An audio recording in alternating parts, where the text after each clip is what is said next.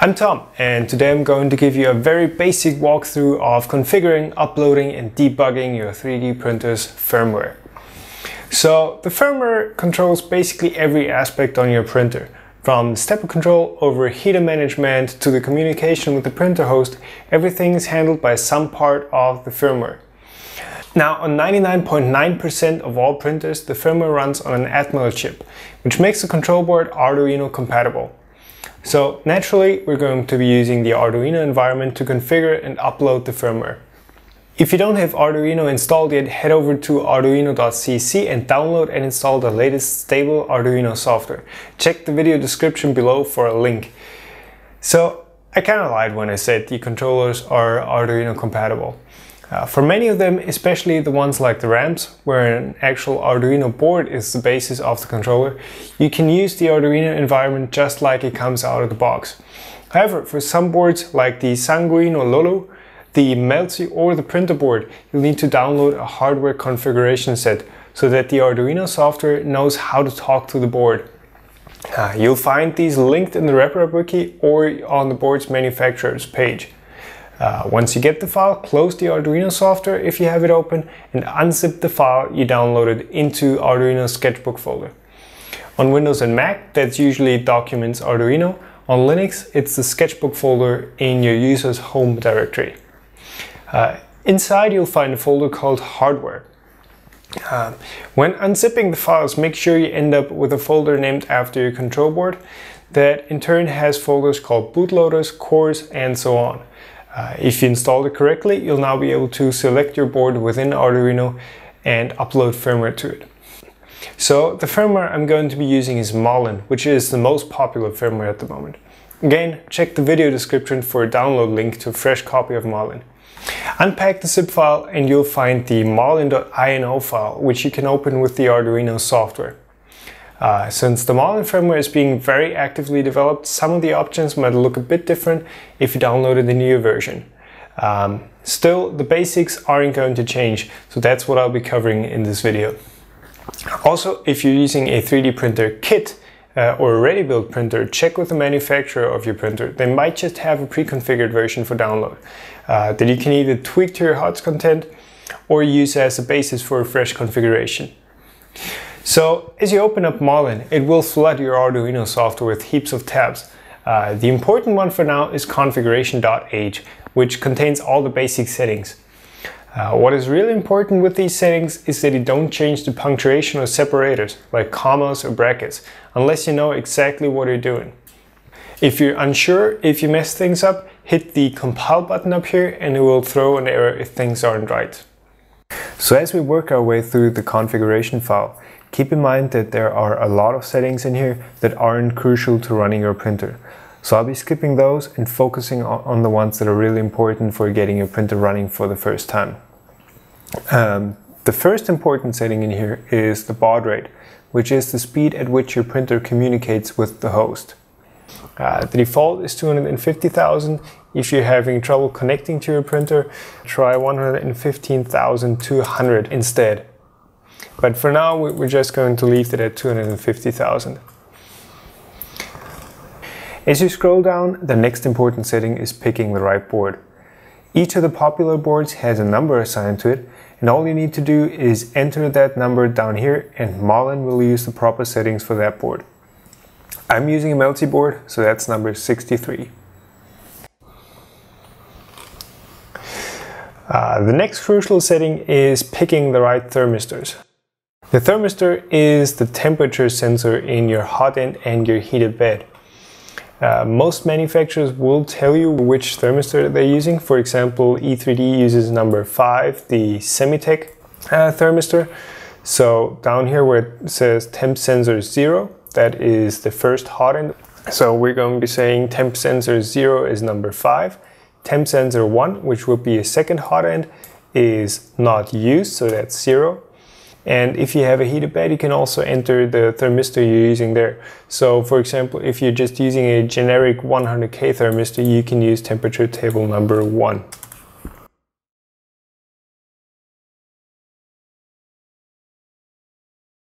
So the next important block of settings are the PID settings. Um, the block up here are the PID settings for your hot end. Uh, if you don't know the KP, KI, and KD values you should be putting in here, leave them at the defaults and run PID autotune. This is the spot where you'll be entering those values that the PID autotune gives you. Uh, next up is the bed temperature control. Now the bed works a bit different uh, to the hot end. By default, Marlin doesn't use PID for the bed and it's just switching it on and off depending on whether the temperature is too high or too low. Uh, to get a much better and more stable temperature control, you can enable PID for the bed. Uh, you do this by uncommenting this line up here where it says define PID temp bed. However, you should not be using PID if you're driving your bed through a relay or a solid state relay. If you're using the default transistor, the MOSFET on your control board, uh, there's going to be absolutely no problem in using PID. Um, now, the same thing as with the hot end applies here. Uh, if you don't know KP, KI, and KD values that work for your bed, run auto tune and use the values that that gives you.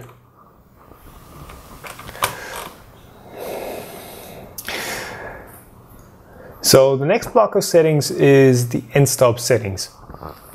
Um, regular printers have X, Y, and Z min end stops, which means that the end stops are sitting at the zero position of each axis. Now this setting right here tells the firmware whether or not uh, the end stop is putting out an inverted signal or not. Usually for opto end stops, you can set these settings to true. Um, if you're using micro switches, set them to false. If you don't know which setting to use, just leave them at true and try it out. Uh, the max end stops are normally not used, so we, we can just ignore those settings for now. Now the invert X direction, invert Y direction and invert Z direction settings don't matter much. Uh, if your axis is moving in the wrong direction, you can just flip the motor connector around. So we're just going to set all these to false for now.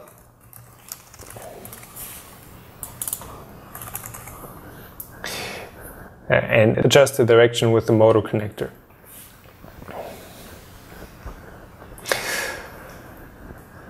So the next setting, uh, the X, Y, and Z max positions are going to tell the firmware how large your printer is.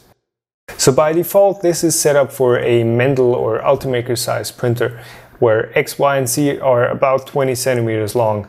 For now, we're just going to leave it at 200 millimeters, uh, since that is a really common size. Next up is auto bed leveling. That is an advanced feature and not crucial to running your printer for the first time, so, so that's going to be a separate video. And the next block of setting that's, that's interesting is the movement settings. Um, and the setting in here that is most important is the default axis steps per unit. Uh, this is the steps per millimeter settings that is often talked about. So the values in here are basically X, Y, Z, and E for the extruder.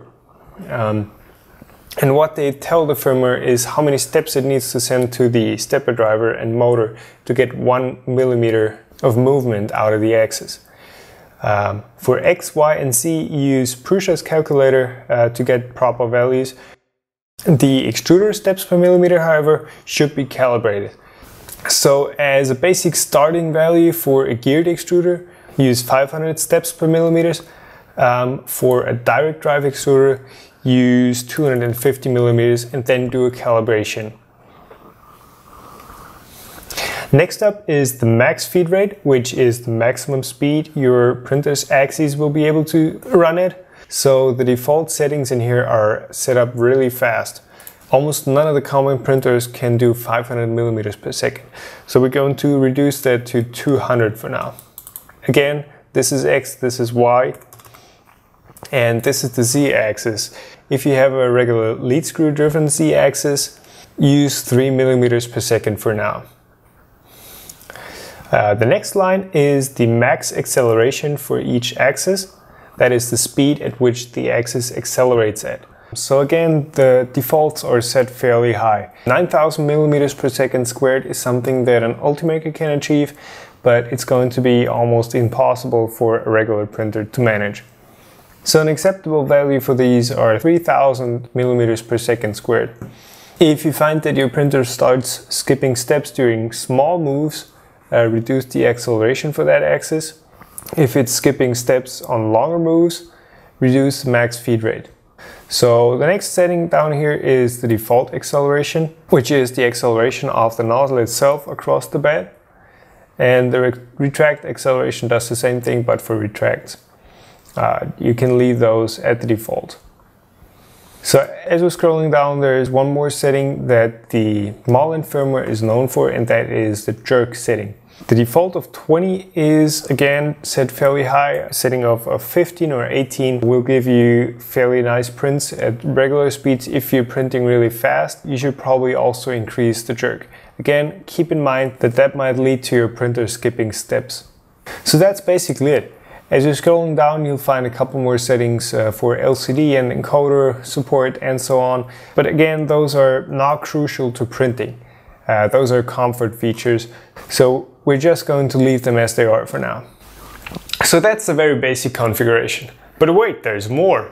Uh, there's one more setting that you really should enable, and that's hidden in the configuration underscore adv.h file, which is the advanced configuration. And that setting is the heating sanity check. That setting makes sure that in the case of your thermistor failing or falling out of the hot end, um, it doesn't melt your hot end down or set your printer on fire because it's overheating. Uh, so to enable that, you remove the comments here and in the next line, and that will be a basic but really effective protection for your hot end. So the firmware is ready to be uploaded at this point. Connect your control board via USB, make sure you select the right serial port and hit upload.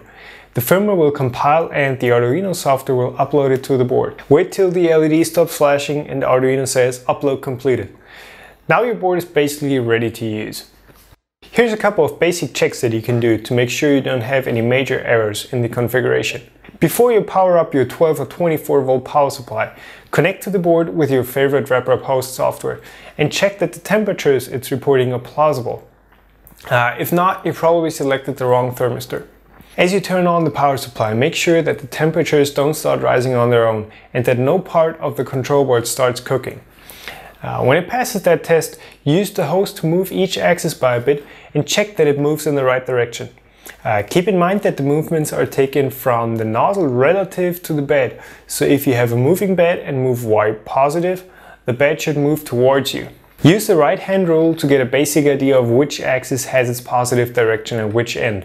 Uh, hold your right hand out like this and from your point of view, this is X, this is Y, and this is Z positive when you're looking at the printer from the front. If an axis only moves in one direction, you probably have the end stop inverted setting wrong. If it always moves in the wrong direction, flip the motor connector around after turning the power off or invert the axis in Marlin's config. Next, check the end stop's functionality by homing one axis at a time but keep a finger on the power switch. Uh, if the axis starts moving away from the end stop, the home direction is set wrong. Uh, when the axis moves towards the end stop, try stopping it by triggering the end stop by hand, so that the axis doesn't crash into the end stop if something else is set up wrong. If the axis doesn't react to the end stop when homing, you probably have it hooked up to the wrong axis. Sending M119 to your printer will tell you which end stop you're actually triggering at the moment. Now, before you start printing anything, you should also calibrate your extruder if you use an estimate steps per millimeter value in the config. Also, set your C end stop if you haven't done so already, and you should be able to get your first print out. So that's the basic process of getting Marlin running on your board. Uh, I hope this video helped you getting started. So as always, please like and subscribe and let me know in the comments what you'd like to see next.